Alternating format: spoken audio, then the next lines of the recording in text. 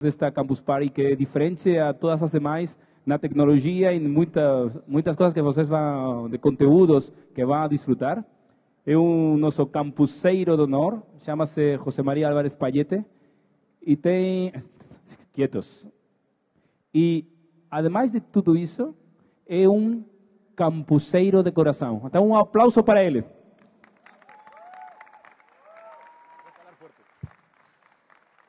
Muito obrigado. Sim, funciona o micro. Antes de tudo, eu vou demandar perdão por meu muito ruim portunhol. Eu vou tentar de falar eh. Eh, peço desculpas eh, por anticipado pelas todas as eh, incorreções que eu vou, eu vou fazer. Eu fui demandado pelo Paco de fazer uma apresentação sobre como nós, do ponto de vista do sector de telecomunicações, olhamos o futuro e como nós eh, tentamos de interactuar com vocês. Vocês são um mundo bastante estranho para uma companhia como, como qualquer operadora de telecomunicações. Pero estamos muito mais perto que o que pode aco- parecer. José Maria preparou uma pequena apresentação, pequenininha. Vamos tentar. Funciona? Não funciona? Sim. Ok. O que está acontecendo, vocês sabem muito mais que nós do que está acontecendo, pero eu, eu queria que vocês tivessem nossa visão, que é que nós olhamos desde o ponto de vista de uma companhia de telecomunicações, que é muito importante, para que desta forma vocês vão ver coisas que provavelmente não, não são tão óbvias para vocês.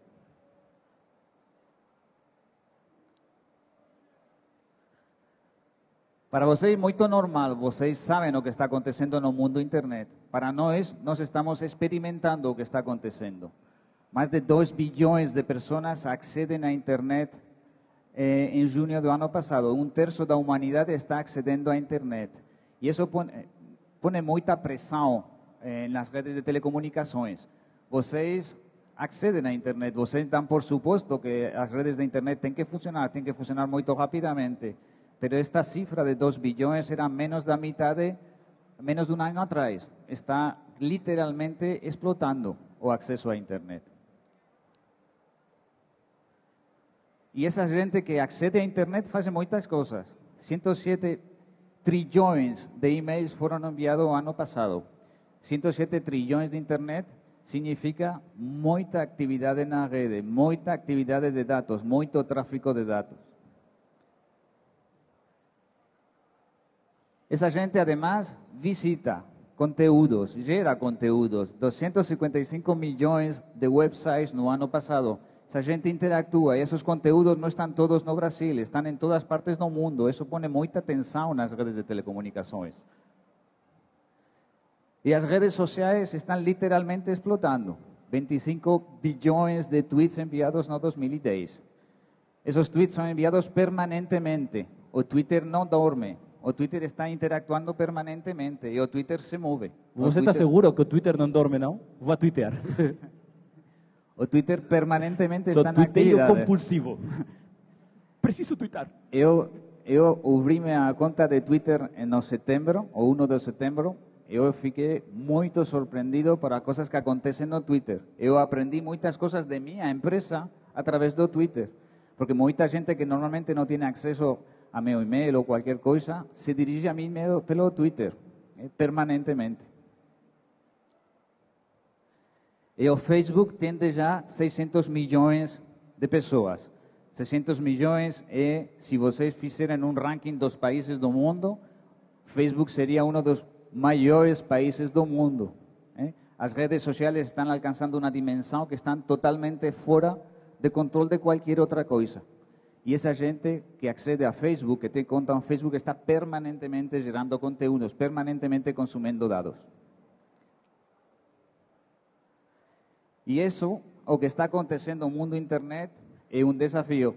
A palavra desafio em chinês está composta de duas coisas: desafio e oportunidade. Nós, as companhias de telecomunicações, podemos olhar isso como um desafio, como uma crise, como uma situação que nós temos que resolver, mas também podemos olhar como uma enorme oportunidade. Pero para isso, vocês têm que saber o que está acontecendo. O tráfico das redes de dados das companhias de telecomunicações estão literalmente explotando. Só en América Latina, o ano 2010, o tráfico cruzado pelas redes da Telefónica aumentou, o país que menos aumentou, aumentou un 50%. O Brasil aumentou un 80%. E... O Brasil es uno de los países que más está creciendo, pero todos los países de América Latina están creciendo, están creciendo mucho, todos los países del mundo. Y esa presión do tráfico de datos está por encima de cualquier estimación que nos habíamos feito o años atrás, 2009 o inclusive o inicio de 2010. Además de eso, la acumulación tecnológica está siendo literalmente increíble. Hay muy pocos momentos en la historia de la humanidad que esta acumulación de tecnología acontece. No voy a explicar a vocês o que es o IPv6 o o que é o novo estándar de vídeo, o que está acontecendo na rede. Eso está acontecendo e eso está haciendo que todos esos números que vocês olharam antes a ficar pequenos o futuro inmediato. As redes a continuar explotando, a continuar explotando ainda moito más rápidos. Y eso presenta una oportunidad, una oportunidad de nuevos negocios, de nuevas aplicaciones, de nuevos contenidos, de nuevos accesos, pero también presenta muchas, muchas dificultades. A gente, vocês, todo el mundo quiere estar permanentemente conectado. Para todo el mundo, hoy es normal querer estar permanentemente conectado en todo momento, en todo momento, 24 horas al día. Hay una aplicación do iPhone que mesura la calidad de vosso sono todo el mundo quiere estar permanentemente conectado con eh, los aviones, eh, o trenes, o carros, y en breve todas las cosas van a estar conectadas a Internet. Nos vamos a pasar de Internet de personas a Internet das cosas. Todos los frigoríficos, todas las... Uh, los carros, todo va a estar conectado en la red. Y todo el mundo va a querer estar conectados, todas las cosas van a querer estar conectadas permanentemente al mismo tiempo. Y ustedes saben lo que está aconteciendo con los dispositivos. Tradicionalmente, un año atrás, eh, cualquier persona del sector de telecomunicaciones falaba de pantalla de screen pequeño, screen mediano o screen grande. Hoy con los tablets, con toda cantidad de dispositivos que están saliendo permanentemente, hay una confusión terrible de dispositivos, de nuevos accesos, de nuevas formas de estar conectado en la red. Y eso, ainda una vez más, plantea una dificultad enorme de estándares y de cosas que tienen que ser feitas. Pero todo eso puede ser feito. Todos esos desafíos tecnológicos pueden ser abordados. Las compañías de telecomunicaciones investirán porque no tenemos otra alternativa. Nos tenemos que hacerlo. Si no nos hacemos nosotros, alguien otro hará.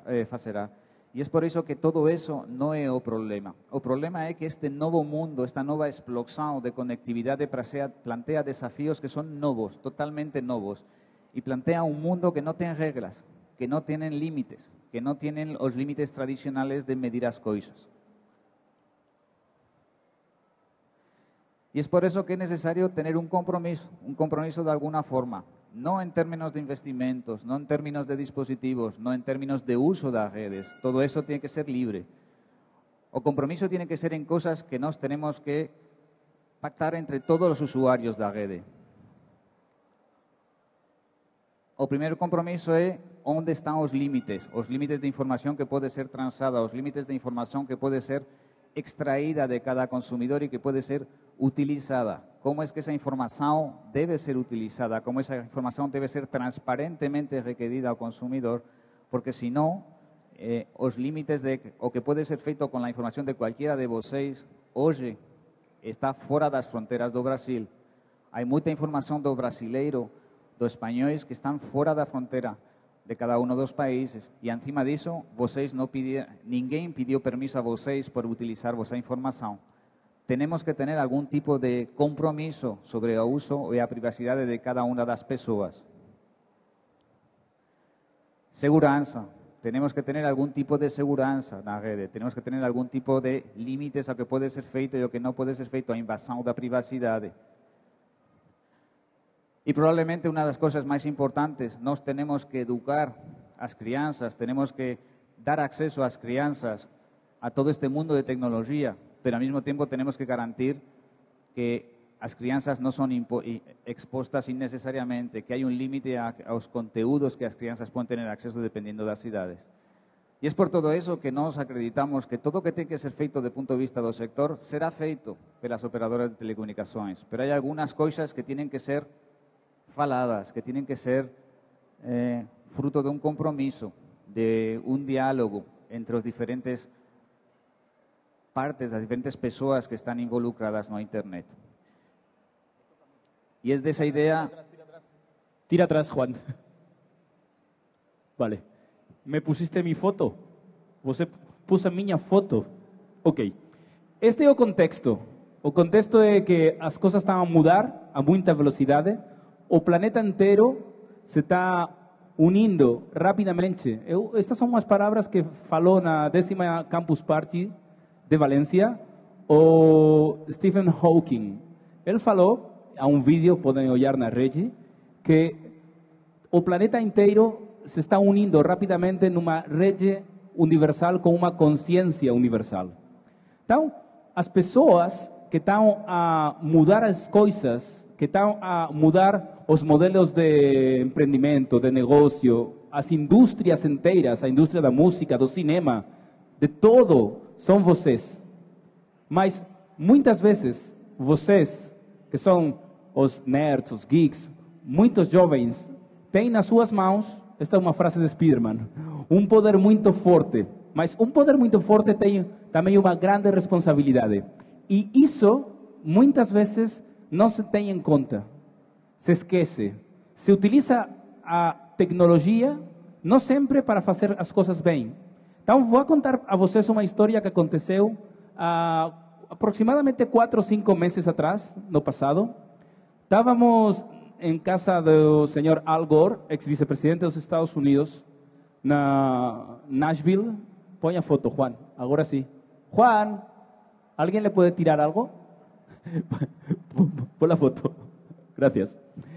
Estávamos falando da próxima Campus Party dos Estados Unidos. Vocês já escutaram falar que vamos a fazer uma Campus Party proximamente. Estamos a trabalhar para isso. E quando acabamos a, a reunião, o cara olhou para nós e nos falou: Oi, Paco, cada vez que fazemos uma campus party, vão as pessoas mais talentosas do país, os gênios que estão a mudar todo. Mas qual é o propósito dos campuseiros? Eu fiquei, hein? Mais ou menos. Então ele falou: Vou contar para você uma história que aconteceu com o seu. Eh, ele chama Poppy, um perro. Cão? Cão? o meu portunhol está a crescer. O seu cão chama-se Poppy.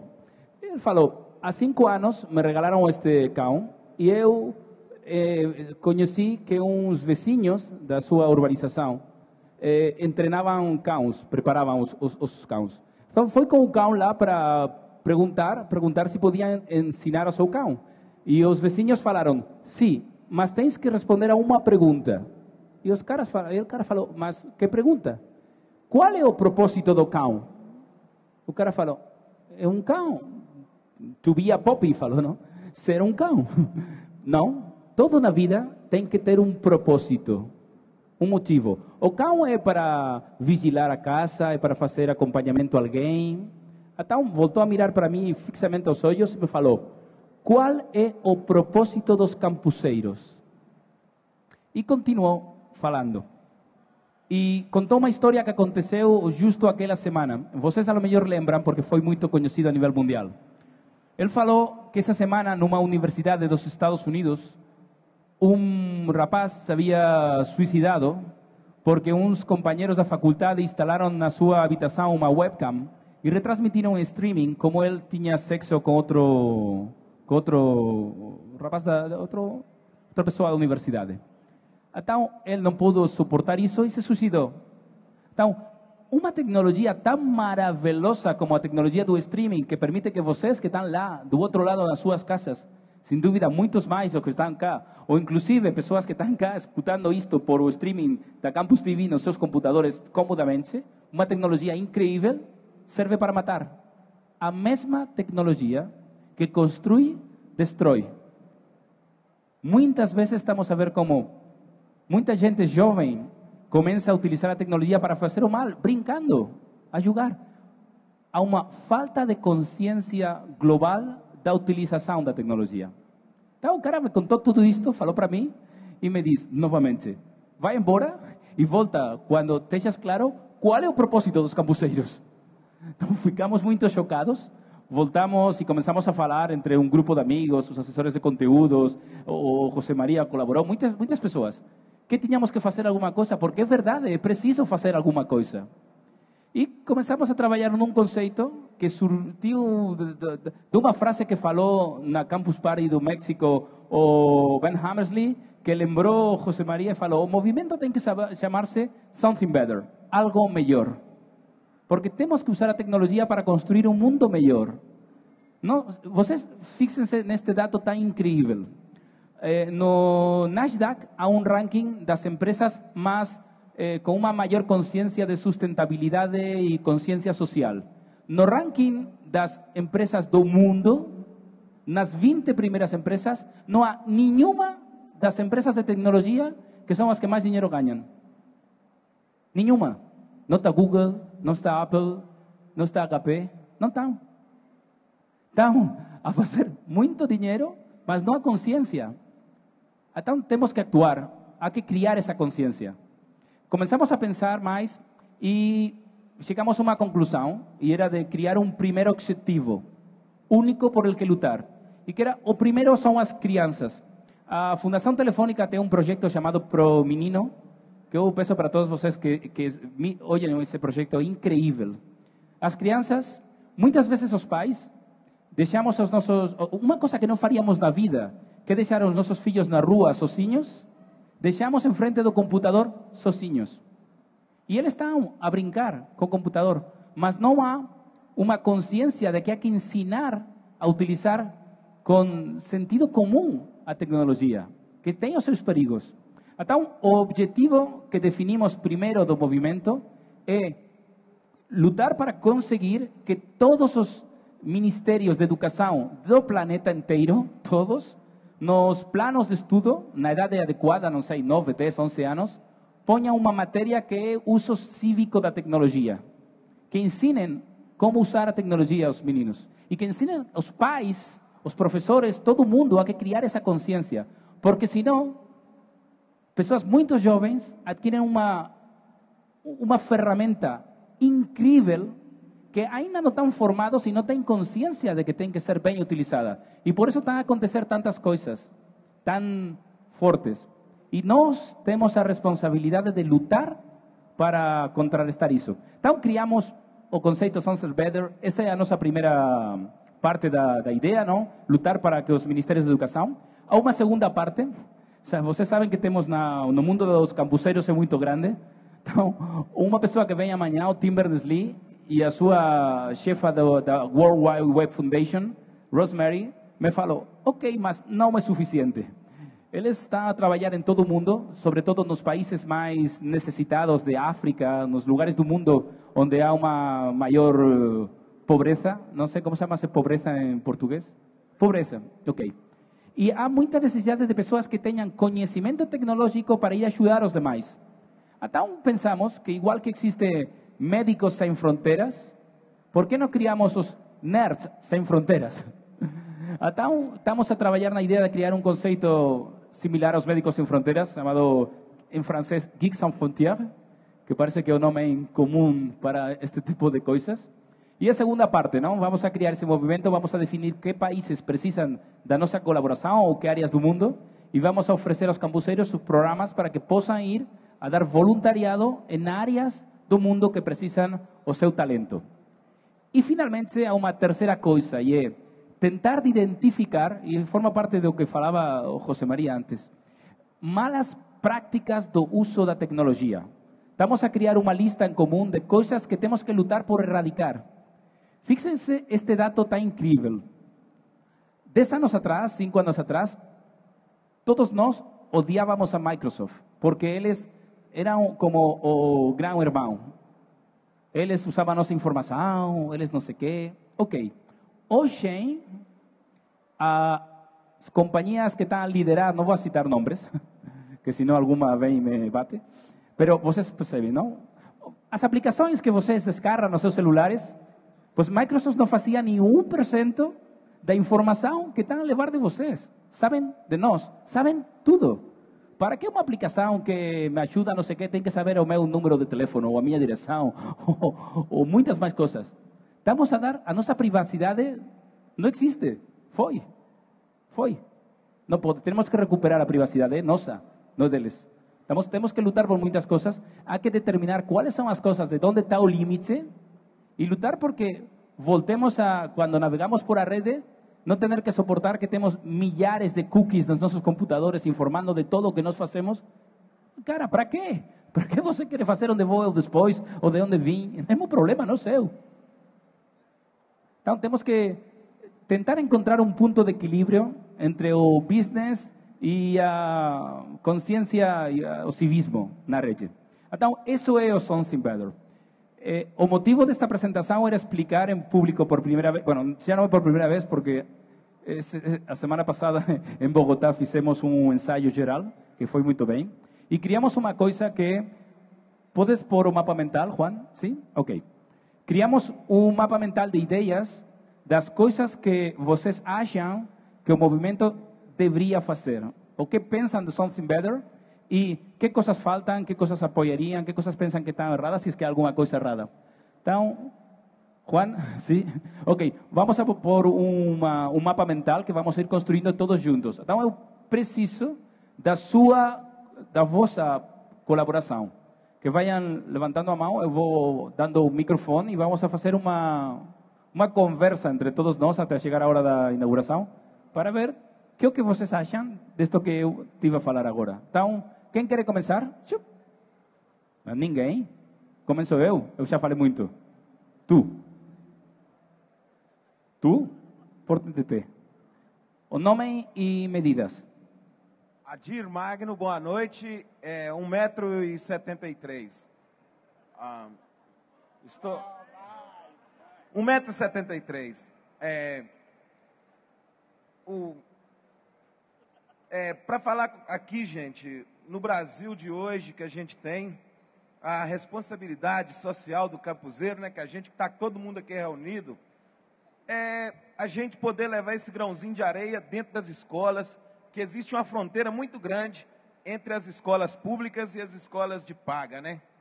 Então, como campuseiro, que é meu terceiro campuseiro que eu estou aqui, né, no Brasil e dois no México que eu participei, eu penso que esse movimento, com essa ideia mental, é a gente, a partir da gente sair daqui do Campus Party, a gente tomar a iniciativa de ser voluntário e buscar a Secretaria de Estado Municipal da local, depois a Secretaria Estadual e o Ministério da Educação, que são órgãos independentes. E a partir daí reunir com os professores e se de repente é bem aceito, a gente pode fazer crescer o movimento. Né? E uma vez que a gente tem como parceiro aqui a Telefônica e o senhor Paco Ragarreles, a gente pode fazer grandes coisas. Eu penso que pode começar com o município, estado e o ministério. De baixo para cima. Que é mais fácil você dominar um município e depois o, o, o estado completo. Muito obrigado, Paco. Obrigado a você. Você mide mais de 1,73. Eu mido 1,80 e você mais? Não, você tem a palavra. Fala. O que, que você pensa? Um, bom, eu acredito que, assim, contribuindo com a ideia da educação que ele falou, é, nós temos que otimizar o uso da internet para os alunos, assim, do primário, ensino fundamental eles usam, eles têm um acesso, algumas pessoas têm um acesso só em lan house, acabam tendo uma visão muito distorcida do que realmente a rede tem a oferecer. Então, a gente incluir algumas coisas na escola para que eles busquem tipos de leitura, é, tipos de arte, qualquer coisa que desperte a criatividade nessas, nessas crianças, nesses jovens, evitando que assim eles é, condi, é, indique um caminho errado que a tecnologia pode oferecer. Contribui, é, acaba complementando o que o Paco falou e o que ele falou. A gente pode otimizar a rede de uma forma muito interessante se a gente guiar todos esses alunos, alunos para uma estimular a criatividade, estimular todas as formas para eles. Obrigado. É, meu Nome?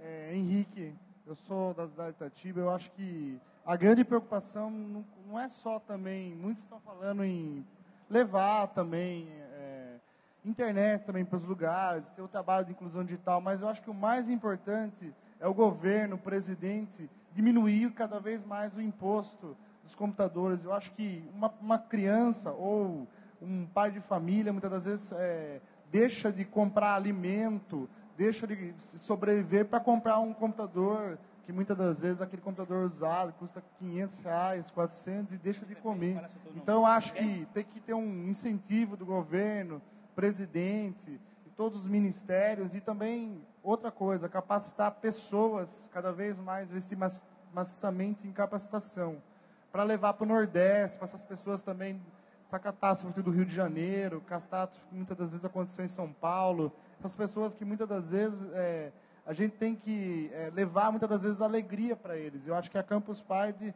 é uma alegria é, ter aqui no Brasil, em São Paulo, e mostrar para essas pessoas que é, existe como fazer um mundo melhor. E a gente pode fazer esse mundo melhor.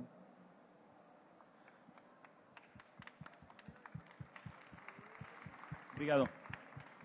É, boa noite, nossa, que alto. Meu nome é Igor, eu sou de Santa Catarina. Eu vou tocar num assunto delicado aqui, assim, é bem provável que seja uma coisa muito delicada.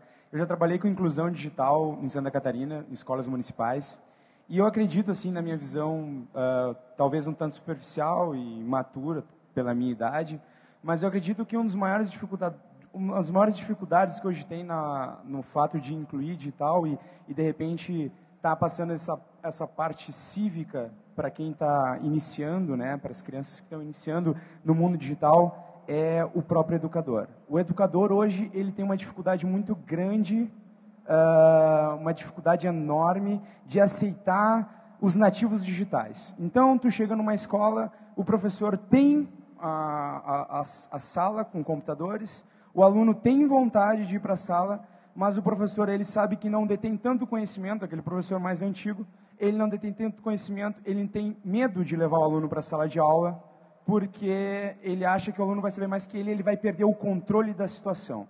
Então, eu acredito, e ainda existe muito nas universidades, eu acredito que o maior trabalho tem que ser feito na hora de formar os nossos pedagogos, na hora de formar os nossos educadores para passar esse conceito cívico, passar esse é, ensinamento digital, é, porque ainda existe duas grandes ramificações, eu posso ver pela minha universidade, existem na área, não sou, não faço pedagogia, faço ciência da computação, mas eu tenho oportunidade de ter contato com os educadores. Existem aqueles que não aceitam a introdução do computador, a introdução do, do, do, do mundo digital na educação e aqueles que aceitam.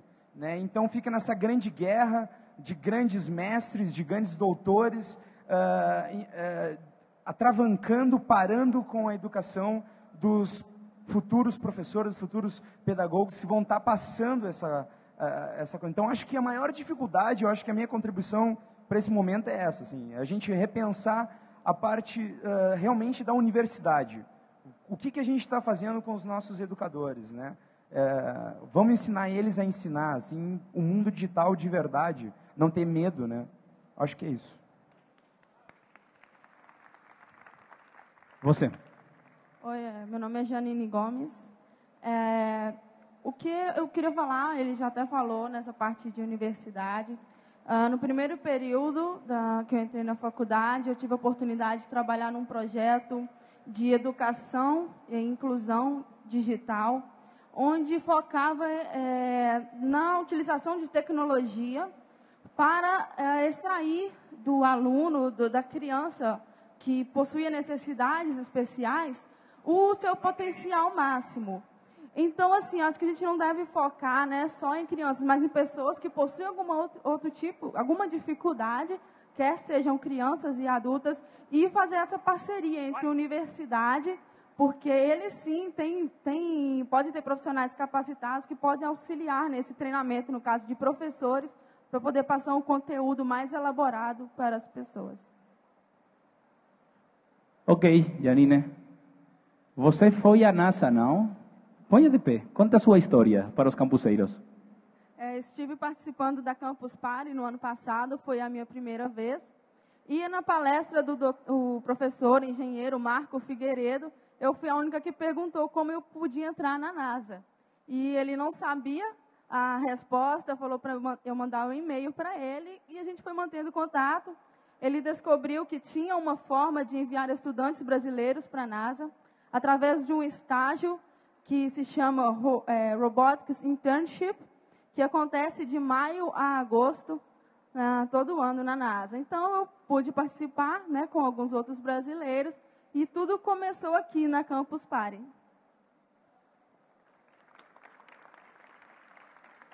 Temos muita relação com a NASA ultimamente.